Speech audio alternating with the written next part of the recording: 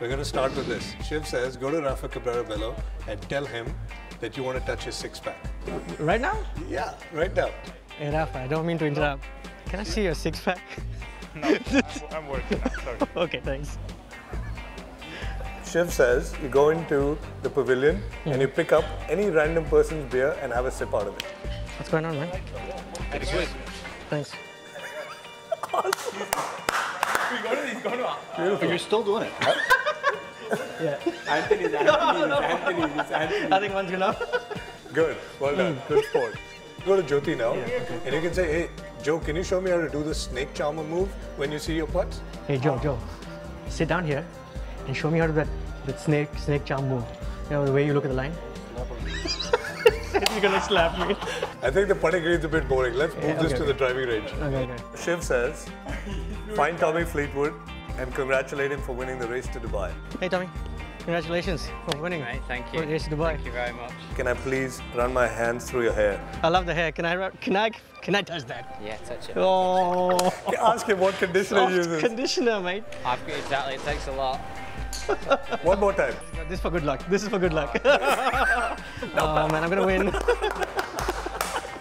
good one. That's awesome. That's impressive. Go up to Robert Karlsson and put your hand out there and fist pump and say, pound the potato. Best of luck for this week, yeah? Yeah, pound the potato, man. One more time, and you gotta explode it this time. You gotta do this again, mate. Awesome. I'm gonna kill you tonight. Tapio Pulkkanen, the guy in the pink shirt and the hat, go up to him and say, hey Tapio, congrats on getting your card. Lose the hat, mate, and take it off his head. hey, Tapio, congratulations on getting the card, man. Thank you. But you gotta lose the hat, man. No, no.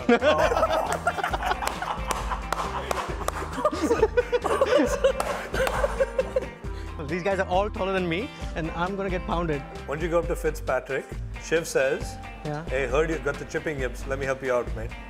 Hey, Matthew. How are you? I heard you got the chipping yips. Can, can I help you? Uh, you can. You want? Yeah. By all means. yeah?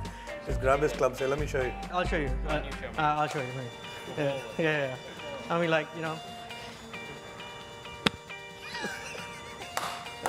I guess, I guess I can't. I can't do this. Go up to Gregory Havret and ask him if he has any water in his bag and then drink the water out of his bag. Bonjour. How are you? Hey, you got some water? Can I have some water? Some water? Yeah? Can I have some water? Yeah? Can I just take a sip? Thanks. Write it down, write it down. Okay, pound the potato with him now. Come on. well done. Pretty good, pretty good. Go up to Tanihara, take off your hat and say, uh, rub my head, it's, it's good luck in India.